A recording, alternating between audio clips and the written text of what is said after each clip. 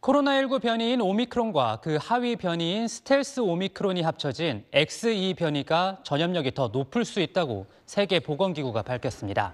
XE 변이는 지난 1월 중순 영국에서 최초 감염이 보고된 데 이어 두 달여 만에 타이완에서도 유럽을 경유한 감염 사례가 확인됐습니다.